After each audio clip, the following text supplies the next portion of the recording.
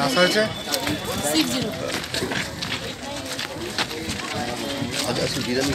হ্যাঁ।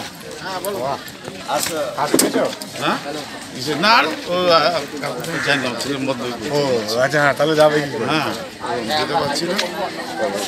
System system.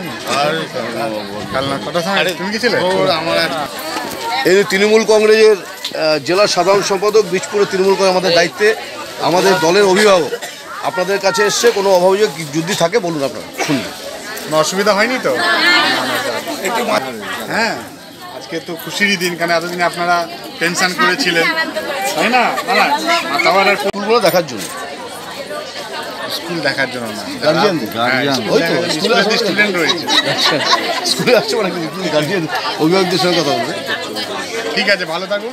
যা ওই দিকটা আহ, একটা করে সব স্টুডেন্টকে আমরা পেন দিচ্ছি আর কি। যারা ক্লাস থেকে বেরোবে স্কুল থেকে তাদের আমরা একটা করে পেন দিচ্ছি আমাদের দলীয় তরফ থেকে।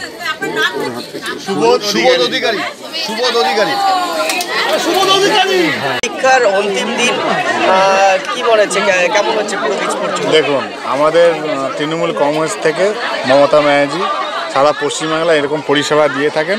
আর আমাদের যারা তৃণমূল যারা কর্মী যারা সৈনিক তারা এরকম মানুষের পাশে মানুষ পাশে থাকে। একমাত্র রাজনৈতিক দল, সেটা হচ্ছে তৃণমূল কংগ্রেস। আর কোনো দলকে দেখবেন না, মানুষের পাশে এইভাবে সেবা থাকতে। আর যারা গার্জিয়ান বা যারা এই যে স্টুডেন্ট পরীক্ষা দিয়ে, তাদের আমি অভিনন্দন আর শুভেচ্ছা জানাচ্ছি। আর বিশেষ করে যারা গার্জিয়ান আছেন, যারা অভিভাবক আছেন, তাদেরও আমি অভিনন্দন জানাচ্ছি। কারণ আজকে শেষ দিন। শেষ দিন মানে আমরাও পরীক্ষা দিয়েছি। ফেস দিনে আমরা এই হোলির টাইমেই পরীক্ষা পড়তো, আমরা হোলি টোলি খেলে খেলে টেলে আর কি বেরোতাম। তাদের আর বিশেষ অভিনন্দন দাদা মাধ্যমিক পরীক্ষা শেষ হলে উচ্চ মাধ্যমিক শুরু। সমস্ত স্টুডেন্টদের প্রতি কি বার্তা থাকছে দাদা? সব অভিনন্দন টেনশন মুক্ত। আর সারা বছর যা পড়বে তার রেজাল্ট একদম সামনে আসবে।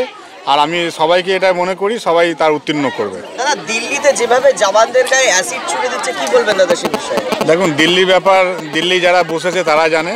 আর তার জন্য ভারতবর্ষের মানুষ সেটা দেখছে। মানুষ তার ঠিক মতন জবাব দেবে।